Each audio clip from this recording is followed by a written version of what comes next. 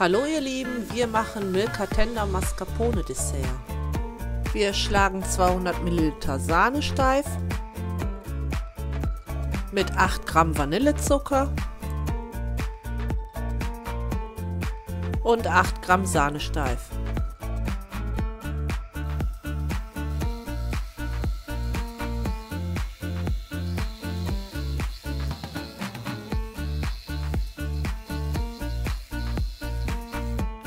Dann nehmen wir 250 Gramm Mascarpone,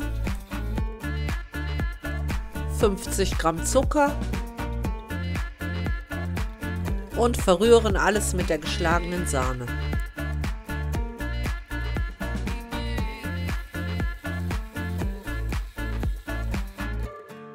Für jedes Glas verwenden wir einen Milka Tender. Vier Dessertgläser befüllen und nach Belieben dekorieren. Für Schokosoße einfach etwas Schokolade mit Sahne schmelzen.